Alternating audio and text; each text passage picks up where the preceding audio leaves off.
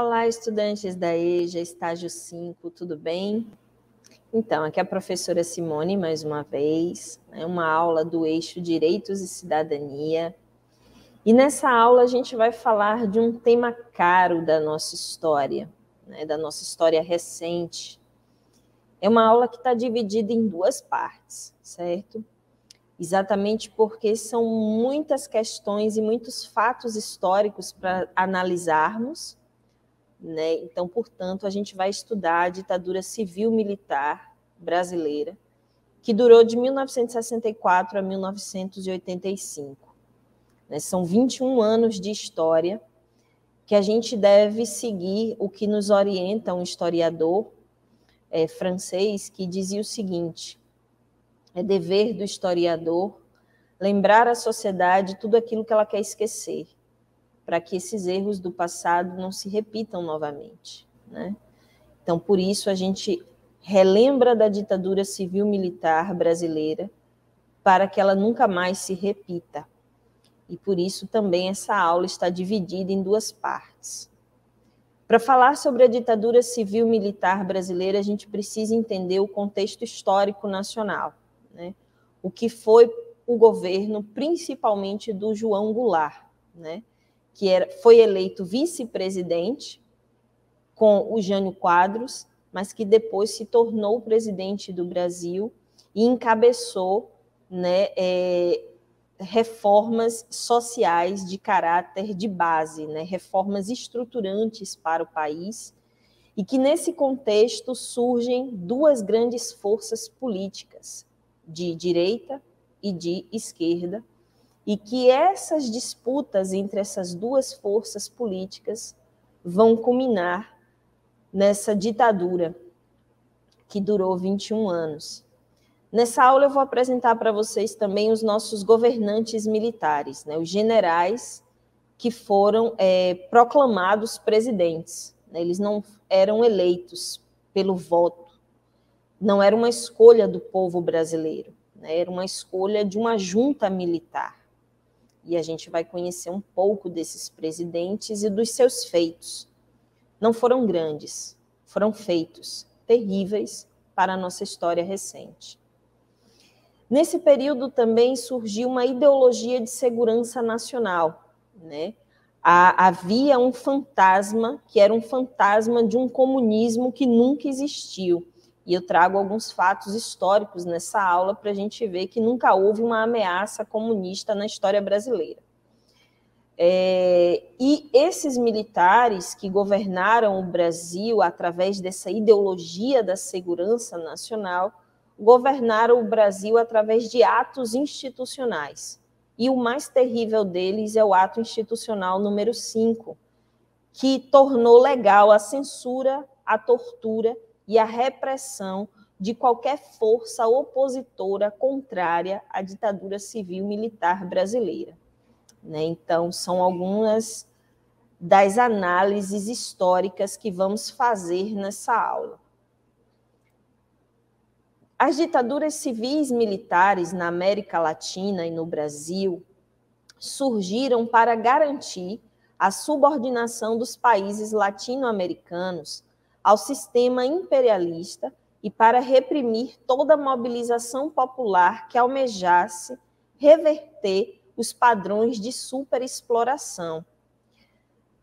Portanto, os golpes militares repetiram a violência histórica latino-americana.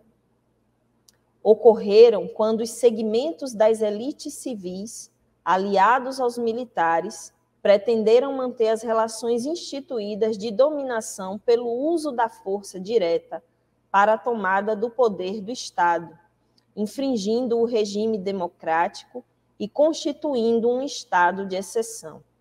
Né? Havia a emergência no mundo da Guerra Fria, e na América Latina vão surgir diversas ditaduras para garantir no continente americano a hegemonia do bloco capitalista liderado pelos Estados Unidos. Mas ocorreram algumas situações políticas e sociais na América como a Revolução Cubana, que fez com que Cuba se tornasse uma ilha socialista, aderindo ao modelo socialista é, político, econômico e aliado à União Soviética, isso gerou um medo de uma comunização né, nos restantes dos países latino-americanos que enfrentavam problemas sociais parecidos com o de Cuba, inclusive aqui no Brasil. Né?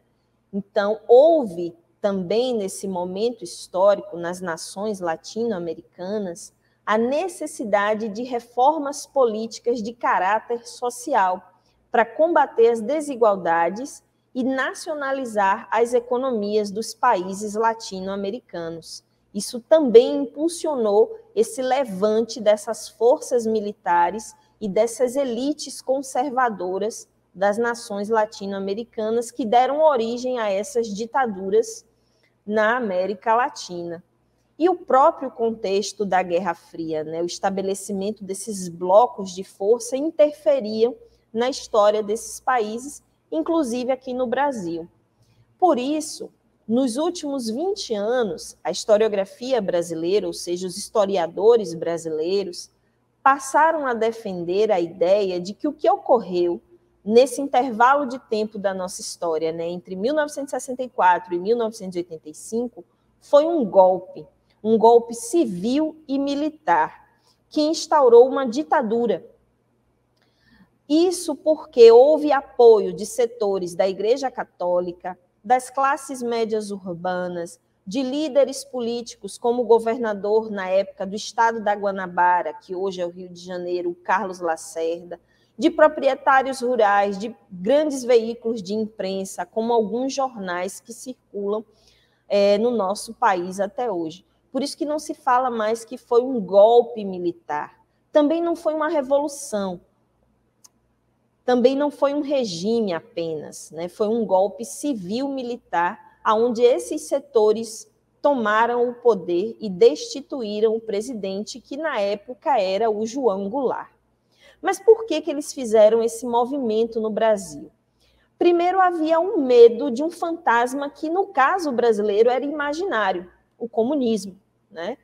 por conta da Revolução Cubana e das ideias da reforma de base, que são as reformas de caráter social nos setores da educação, né, nos setores da criação de legislação trabalhista de proteção, principalmente ao trabalhador rural, a reforma agrária, né, que é a redistribuição de terra entre os proprietários de grande e de pequeno porte no campo, né, foram movimentações e motivações que legitimaram a tomada de poder por esses grupos mais conservadores no nosso país. No dia 13 de março de 1964, o então presidente do Brasil, que era o João Goulart, fez um comício na Central do Brasil, no Rio de Janeiro, confirmando essas reformas de base, principalmente a reforma agrária. Isso gerou né, uma comoção desses setores mais conservadores da sociedade, que no dia 19 de março, em resposta ao comício da Central do Brasil, saiu em marcha né, da família com Deus pela Liberdade na cidade de São Paulo. Essas marchas ocorreram em outras é, localidades brasileiras, porque ao defender essas reformas, principalmente a reforma agrária, o presidente João Goulart, daquele período, foi considerado um comunista, né, um esquerdista, como se diz nos dias de hoje. Né? E por conta disso, esses setores da sociedade, em 1964, juntou-se ao Exército Brasileiro, que no dia 31 de março, né, e na virada do 1 de abril de 64, deram esse golpe, destituindo o João Goulart da presidência do Brasil. E no dia 2 de abril saíram em marcha da vitória. Né? Aqui mostra algum, a, fotografias da época de 64, né, da marcha da família com Deus pela liberdade. Né, e nos cartazes eles diziam: né, o Brasil não será uma nova Cuba, né, a família em marcha pela liberdade. Né, Em 2016, esses setores conservadores da sociedade brasileira é, fizeram uma nova edição dessa marcha, né? E observem os cartazes, né, trazendo as mesmas frases e insígnias daquele período nefasto da nossa história, que foi né, o 31 e o 1 de março de 64. Então, assim, são ideias que ainda estão no presente. Né? Todas as vezes que se fala de reformas sociais no Brasil, se confunde isso com as ideias de comunismo, né? e aí se fala que há um perigo eminente do avanço do comunismo no Brasil, e aí esses setores mais conservadores tratam de se insurgir defendendo essa moral e esses bons costumes, vamos assim dizer, né? Então, para evitar uma guerra civil naquele momento histórico, o João Goulart, que era chamado de Jango, né, deixa o país e refugia-se no Uruguai. Mas enquanto ele ainda estava no Brasil, os militares já tinham tomado o poder, né, já tinham tomado a presidência. E é importante frisar isso aqui, ó. Houve um golpe civil-militar em março de 1964. É importante relembrar para nunca esquecer, certo? Então, foi uma ditadura, sim. Os partidos políticos, com esse golpe, foram extintos, né? E passou a vigorar né, a Lei de Segurança Nacional e essa lei de segurança nacional era evitar o perigo eminente de um comunismo que não existia. Né? Apenas foi, então, essa tomada de poder. No dia 1 de abril de 1964, tropas do Exército sediadas em Minas, de, em Minas Gerais marcharam para o Rio de Janeiro. E no Congresso Nacional, o cargo de presidente da República foi declarado vago, mesmo João Goulart estando no Brasil. Ele estava em viagem para o Rio Grande do Sul, né?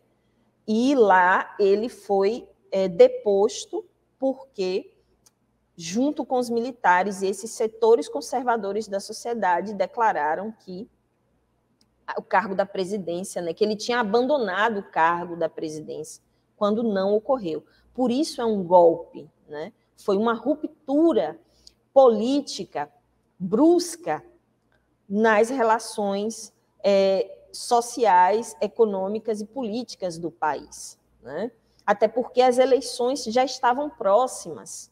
Né? Então, acabou ocorrendo essa tomada aí de poder pelos militares que colocaram seus tanques nas ruas brasileiras e vários enfrentamentos de outros setores da sociedade brasileira contra esse golpe se insurgiram, né? Inclusive aqui mostra uma das muitas passeatas dos estudantes é, secundaristas e universitários em 68 contra a ditadura militar que estava em curso, né? É, e por conta disso, os atos institucionais foram endurecendo ainda mais o regime militar, né? o regime civil militar. Quem foram os presidentes do Brasil desse chamado anos de chumbo? Porque a ditadura militar brasileira também ela vai ser conhecida na nossa história como os anos de chumbo, né? Com o golpe de 1964, o Brasil passou mais de duas décadas sob os desmandos de uma ditadura civil-militar que foi caracterizada pela violação dos direitos políticos e civis. Né? Nós, brasileiros e brasileiras, fomos impedidos do exercício da cidadania através do voto. Não podíamos escolher os nossos representantes. Vários deputados, vários senadores, vereadores foram destituídos do seu mandato quando da emergência do golpe civil-militar de 64 e do ato institucional número 2, né, porque os militares passaram a governar o Brasil através de um ato institucional, né, de uma emenda à Constituição, que inclusive a Constituição de 46 foi é, revogada e escrita uma nova Constituição em 67, né, em 1967. O nosso primeiro presidente militar foi a junta, né, uma junta militar que depois decidiu pela nomeação do Castelo Branco. Então, entre 1961 e 1964, que é o, o período que esse golpe está sendo instituído, por conta dessas reformas de base, né? E o governo do João Goulart passou a se aproximar desses setores do trabalhismo e da esquerda brasileira para fazer essas reformas. Então, houve a reação da Marcha da Família, como a gente viu, e o golpe de 64, né, que foi apoiado por setores da imprensa, do empresariado, internacionalmente pelos Estados Unidos. E com a junta militar, né, foi então nomeado o Castelo Branco, né, o general Castelo Branco, para ser o nosso primeiro presidente.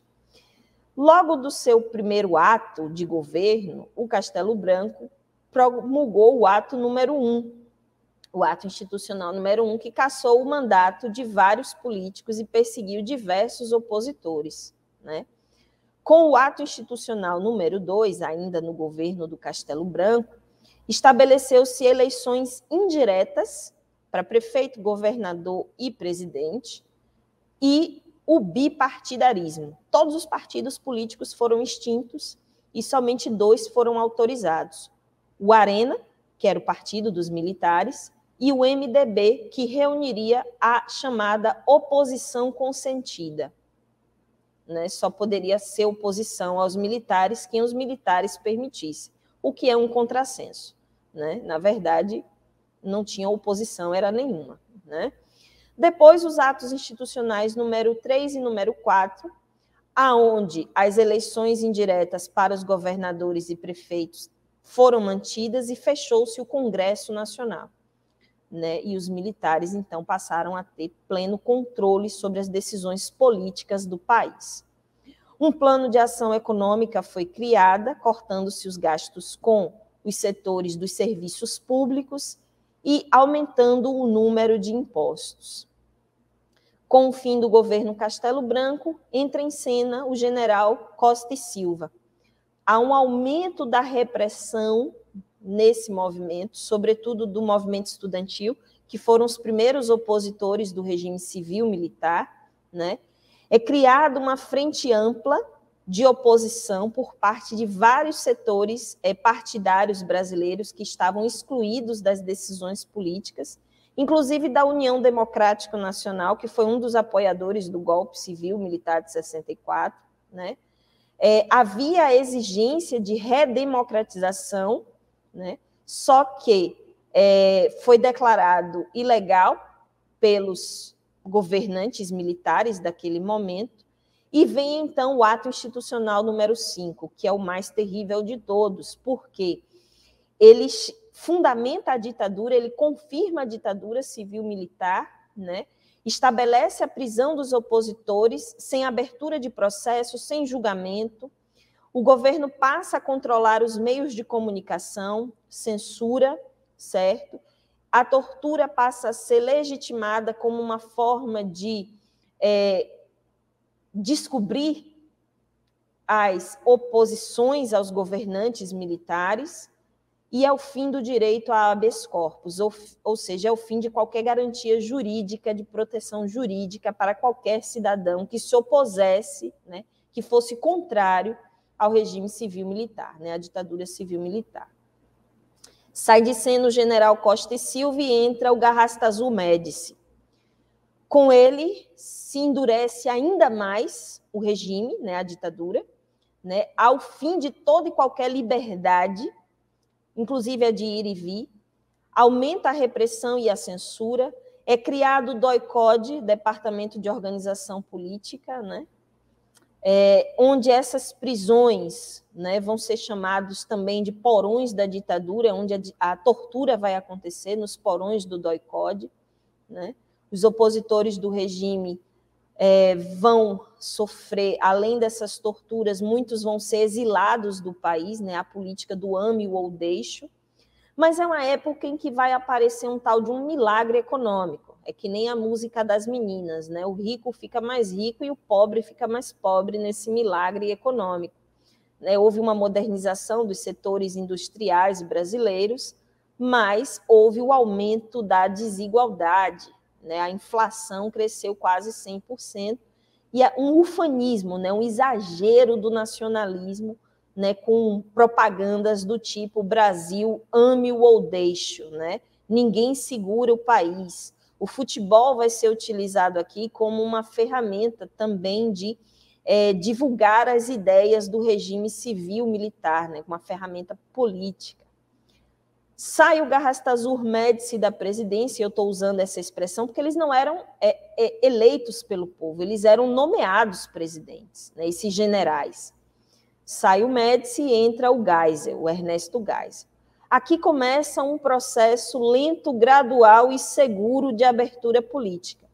No governo do Ernesto Geisel começa essa transição entre a ditadura e a democracia conduzida por eles, né?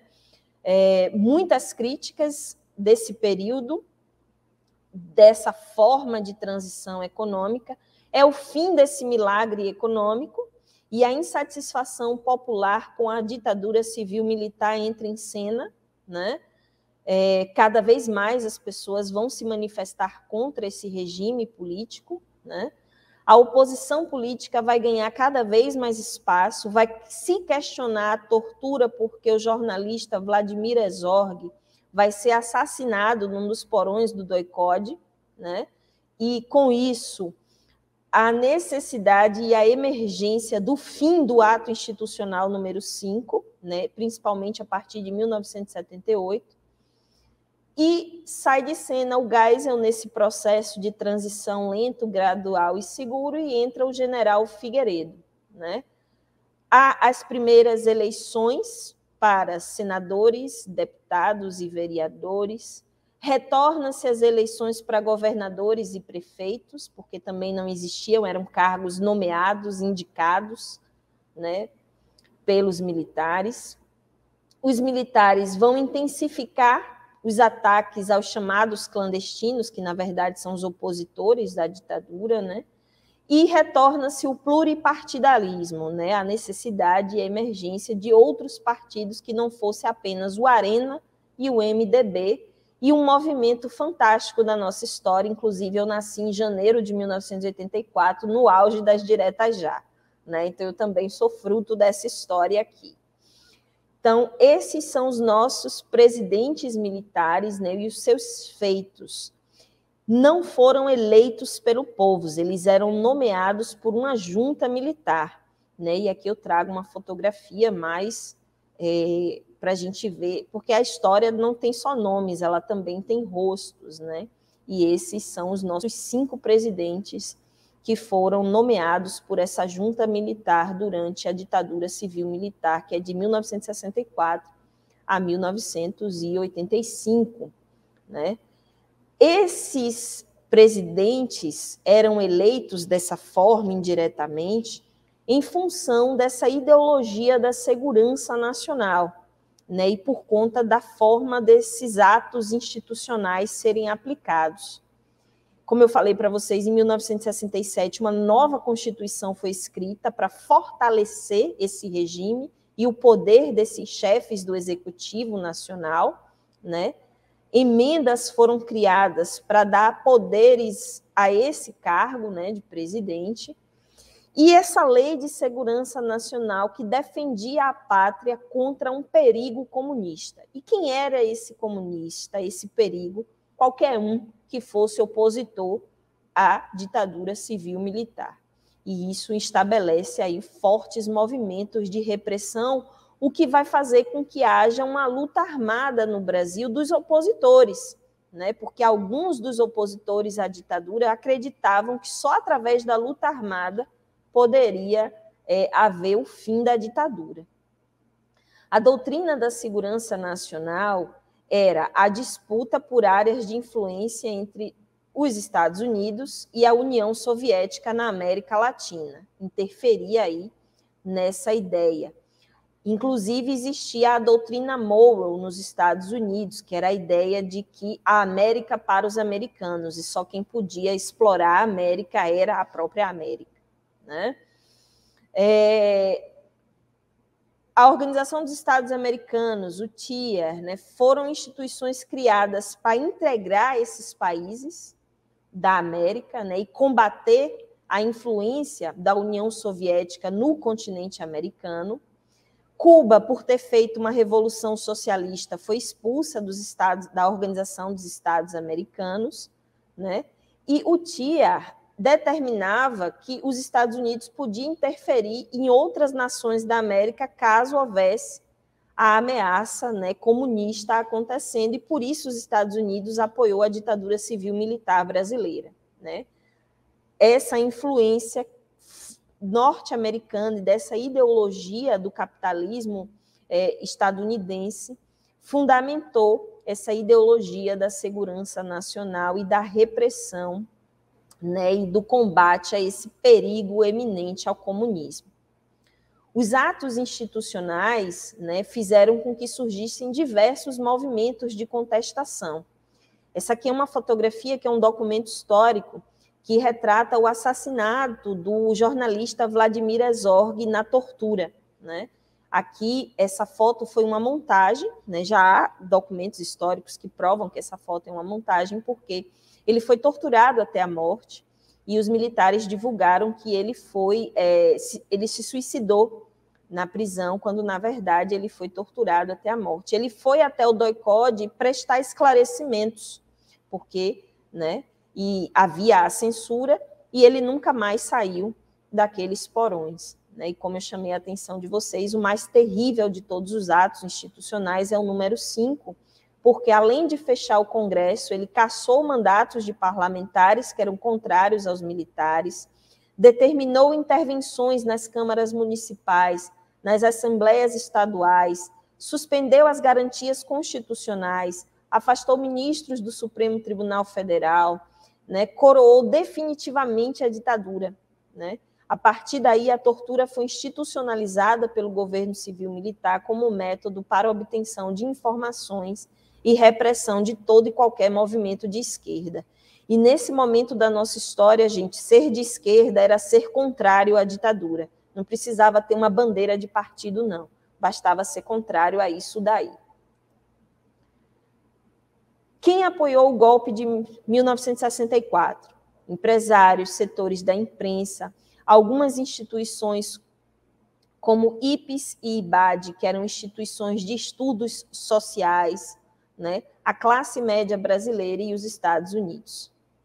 Foi estabelecido durante esse período da nossa história um sistema de bipartidarismo, né, onde só podia existir a Arena e o MDB, que era a oposição consentida, né, aquilo que os militares permitiam ser oposição, e só no ano de 1979 é que retornou o pluripartidarismo e vários partidos voltaram à cena política e novos partidos surgiram, né? dentre eles destaca-se o Partido dos Trabalhadores e o Partido Progressista.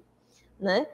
Movimentos de resistência à ditadura foram vários, desde uma frente ampla, né, que vinha no campo das ideias se opondo à ditadura, como setores organizados de luta armada, né, como o MR8 e o VPR, né, e a guerrilha do Araguaia, Além disso, no campo das artes e do cinema e as músicas, né, vários artistas que a gente vai ver na segunda parte dessa aula se mostraram contrários, e o movimento operário do ABC Paulista, né, os trabalhadores das fábricas de automóveis, que foram também contrários à ditadura civil-militar. Os presidentes militares, como a gente já viu, que foi o general Castelo Branco, que reescreveu uma nova Constituição para legitimar o regime civil-militar. O Costa e Silva, né, que é o responsável, inclusive, pela instituição da tortura, o ato institucional número 5.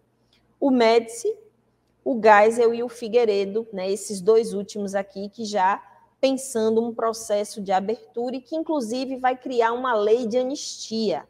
Né?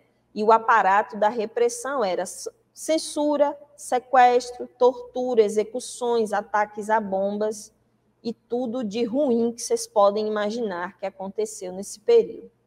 Né, as consequências, além dos milhares de mortos e desaparecidos, né, a gente vai ter também né, uma alta inflação no nosso país por conta desses movimentos.